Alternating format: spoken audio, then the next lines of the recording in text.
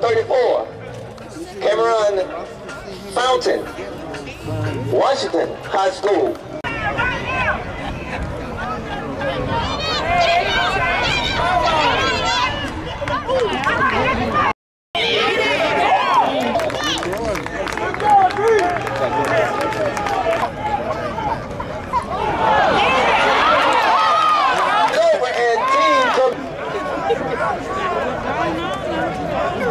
From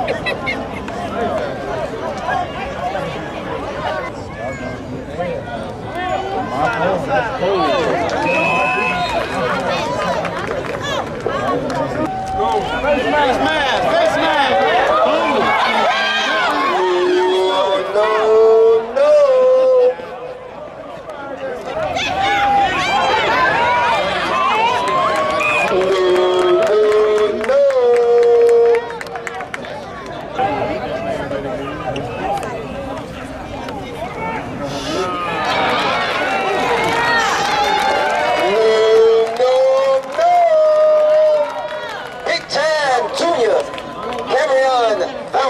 from Washington High School.